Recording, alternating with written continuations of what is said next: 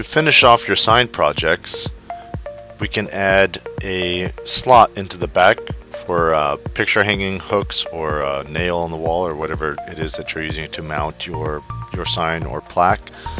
Uh, this is going to use the keyhole function. So we've got our sign here. Let's click the R button, which flips our project to the back of the board. And then we can select our keyhole function button and then click on the board. So we're going to put it down here because if you saw the way that it flipped, it flips like this. So the actual top of the board is now facing down on the on the back side. So we're going to put the keyhole here and it's going to give us some options. Uh, the 325 depth is just the default depth for that bit. I never change that. That's just the, the size that it should be. Up is referring to the direction that it's going to slot.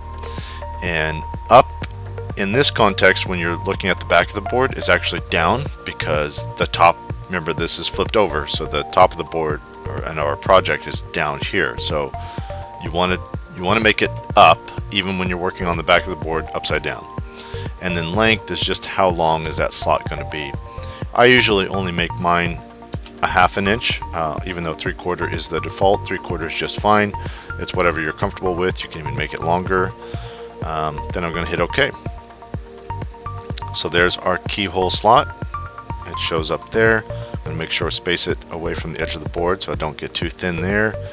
And then I'm going to center it just on that center axis so that it's uh, right there in the middle and it's locked into place. And that's it. It's going to plunge down here and then slot over and then come back and out so that you've got a, a slotted hanging bracket basically on the back of your sign or plaque. I can flip back over to the front and uh, my project is now finished.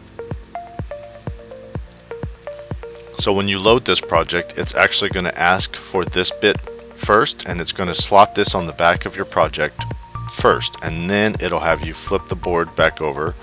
And it's important to pay attention to how it flips it here in the software, because that's the same way you need to flip it in the machine on on the width direction, not on the length direction. If you flip it that way, then this is going to end up being upside down on your project. So make sure that you flip on the width and uh, when you flip the project in the machine and your slot will be in the perfect place and your project is finished and ready to go, ready to upload.